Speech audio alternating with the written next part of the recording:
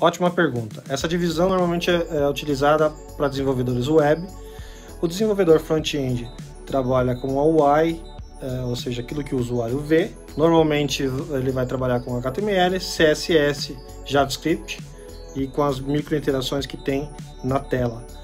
É, o desenvolvedor back-end trabalha com a parte mais, mais perto do banco de dados, com a lógica de normalmente com a lógica de negócio maior e com as tecnologias que são processadas no servidor, por isso back-end e front-end. Desenvolvedor full stack, normalmente é, essa, essa é, nomenclatura é utilizada para aquele desenvolvedor que trabalha tanto no front-end quanto no back-end.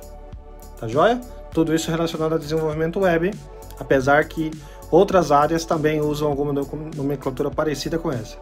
Mas quando se encontrar isso, normalmente é relacionado a desenvolvimento web.